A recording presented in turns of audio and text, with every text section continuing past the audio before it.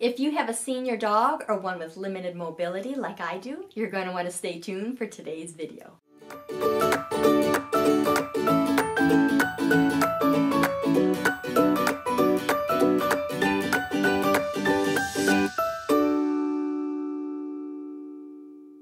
Welcome back to our channel. I'm Tanya and my sidekick Dexter my little senior is actually out having his afternoon siesta, so he won't be joining us today. Extra sleeping is definitely something our seniors like to do.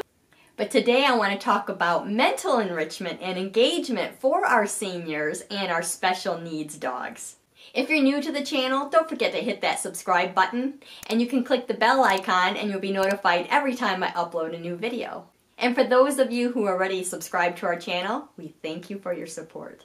Today I have a special video that's near and dear to my heart and that's about engaging our special needs dogs. So Dexter at almost 14 and Dexter was also diagnosed with Chiari malformation which is very common in the Cavalier breed. He was diagnosed just before his third birthday so he's always struggled with some mobility issues and it's always been extra important for me to make sure that he still stays engaged and has an enriched life. And as he's aging, I'm actually modifying some of the tricks and games that we've been doing throughout his life. But just like younger dogs and ourselves, our dogs still need mental stimulation to stay happy and healthy as they age. So today I'm going to show you a variety of low impact tricks that you can do with your dog. Puppies also have limits on what they can physically do as they mature and grow, so some of these exercises and tricks will be good for puppies too. But as always, please speak to your dog's holistic veterinarian before starting anything new and taxing, just to ensure that they're safe and healthy for your dog. And if you think that your dog is struggling or not understanding the task at hand or seems a little hesitant, go ahead and back off and wait and ask your vet to make sure it is something that they can do. Your dog's body might be telling them not to try that behavior and you need to listen to that.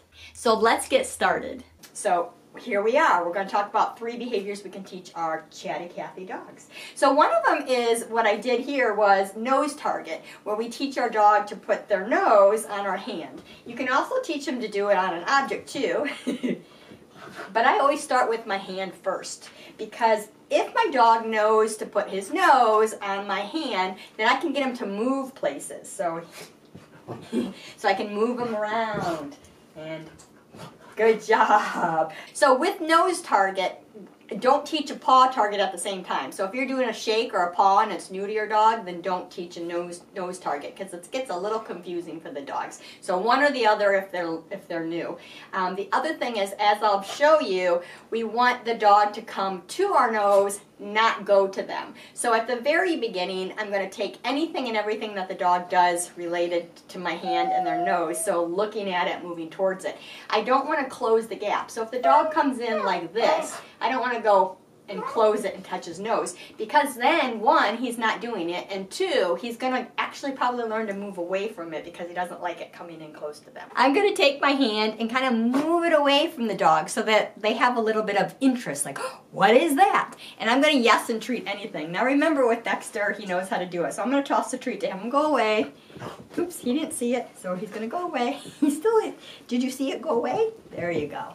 So you're gonna go yes and then yes and treat with your dog with any interest. So again, you're moving it away, but not too fast, just a little interest. Your dog won't be quite as fast at it usually, but yes, and then yes and treat. So he's doing a little hopping. What that tells me, one, is he's excited, but it also tells me my lure is probably too high. So I'm going to pay attention more to him instead of the camera. So I'm going to, yes,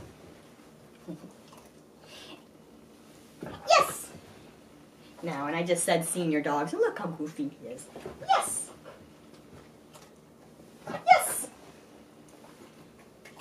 Yes! Okay, so what I like to do, sorry buddy, is I like to take a handful of treats, again, nutritional treats that you can count as daily calories or ideal, and put them in my pocket. And when they're gone, I don't have anything, buddy. When they're gone, my lesson's over. So that I don't do it too long, okay? So, Try it number one. So what you're going to do is you're going to take your hand and you're just going to move it away from your dog slightly, just to give them that little interest. And as your dog shows any interest towards it, yes, and then treat. And then you're going to repeat, yes, and then treat. So you're just moving it away and they'll they're interesting dogs, interested dogs, and they usually just kind of like gravitate towards it, and then yes, and then treat. And then, again, treats in your pocket, so when they're done, they're done. You may not get them to actually touch it right away, and that's okay. That's all right. We're just kind of shaping that behavior. And eventually what will happen is they will come in. They will end up coming in and touching that. And then again, yes, tell them how smart they are. And you can also jackpot them every once in a while, which means they actually do it, and it's really good. You can go, woohoo, and treat, treat, aren't you so good, little scratchy butt, um, to get them really excited. So the next one I want to do is teaching them to go around. Dexter knows all these behaviors because we've taught them in the past. Remember, he's 12. Um, around for me means my dog comes to the right of me and circles around me here. I don't want them to sit, so I'm not doing some kind of like sit finish. Just tricks and things to do with your dog, um, keeping them engaged, indoor activities.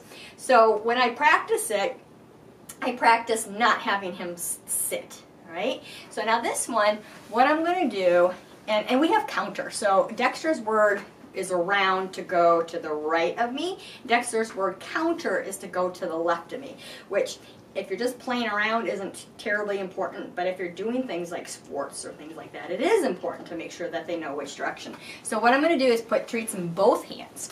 And we want to think about our dog's level. So where's Dexter and you? okay, so I'm going to go to his nose to the right, my right. Um, I always think about how is this flipped around and catch him. So here's food, food, food, food. So lure in here, and then my left hand's gonna go behind my back and lure back, oops, around.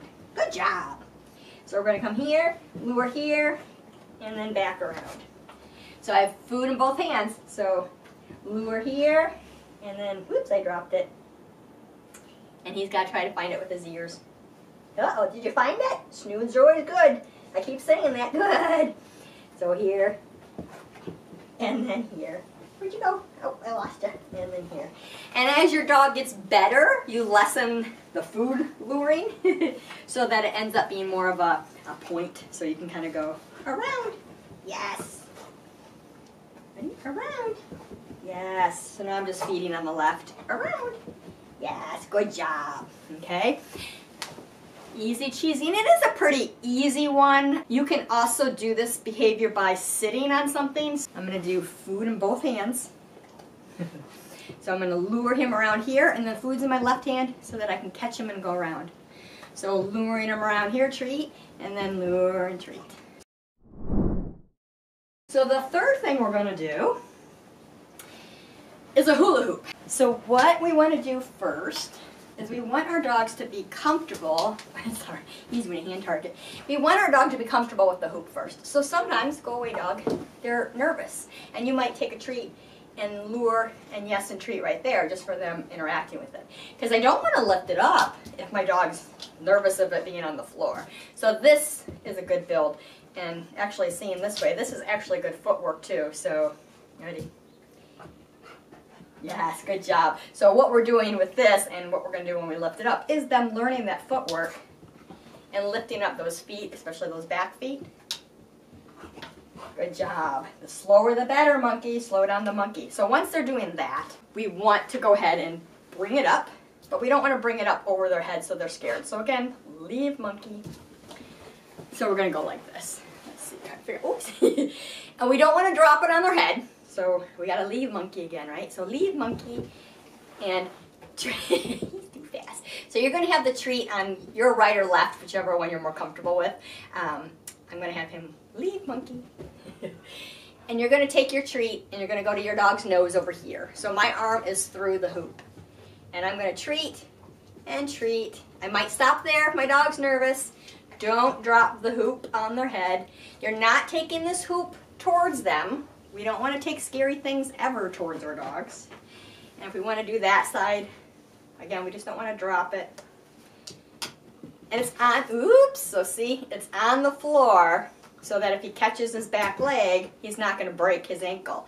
It's important that whenever you're doing anything where they're jumping over something or going through something, that if they hit it with that back ankle, it's going to move with them and not get stuck. So don't ever attach your hoops or anything like that where if they jump over it, it doesn't move because you can injure your dog big time. Um, so you're just going to go through it, give them a treat, yes and treat, yes and treat, yes and treat.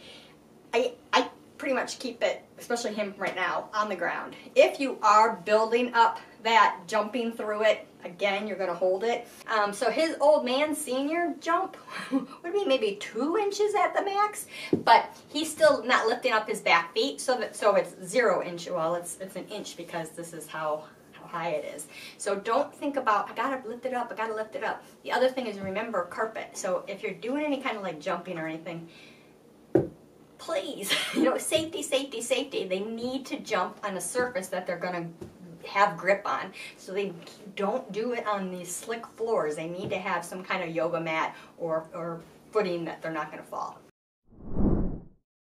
So I know that you're really excited to jump in and start some of these tricks that I just taught you, and I'm so glad that you are. That makes me very happy because I love seeing people engage their dogs and have a fun-filled life. But before you go, if you enjoyed this video, do give us a thumbs up. Don't forget to subscribe to our channel. We actually have two YouTube channels. I'll put the links below in the description. If you hear the snorting, Dexter decided to come back and join us. I do also have two private Facebook groups for more canine and feline enrichment, so make sure you check out the description below for more information. And if you want to dive deeper into your dog's training, behavior, and care, do check out my private Patreon group. And as always, remember to pause and enjoy life, and we'll see you in the next video. Thanks for watching, and don't forget to like and subscribe to both of our YouTube channels for more free content.